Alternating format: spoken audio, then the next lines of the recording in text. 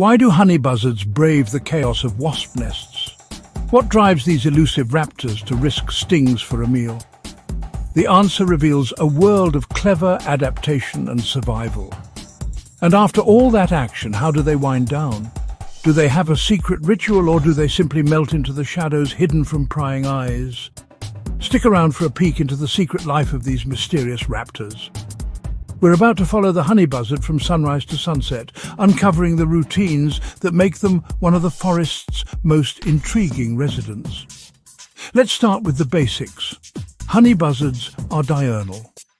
While many raptors prefer dusk or dawn, honey buzzards are most active when the sun is high, making the most of the daylight hours. Their mornings are slow. You'll often find them perched quietly, surveying their territory, stretching their wings and waiting for the forest to wake up. But by late morning, it's go time. That's when wasps get busy and their nests warm up, making it the perfect window for a honey buzzard's lunch break.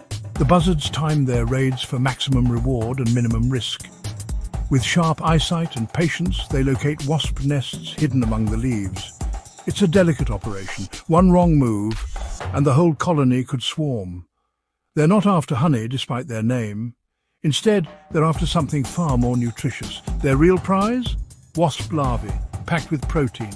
Honey buzzards are experts at extracting them, even from the most well-defended nests.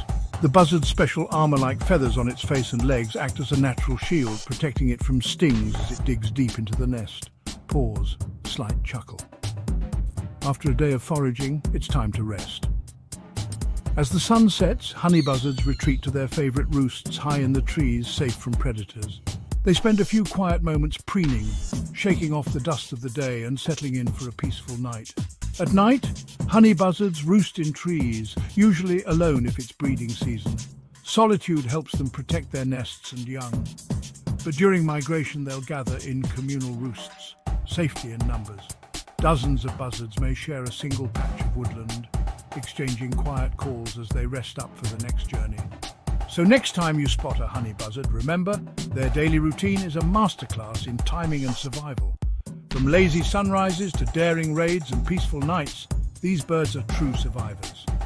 Thanks for watching. Nature's never boring. The honey buzzard's secret life is just one of countless stories unfolding in the wild every day.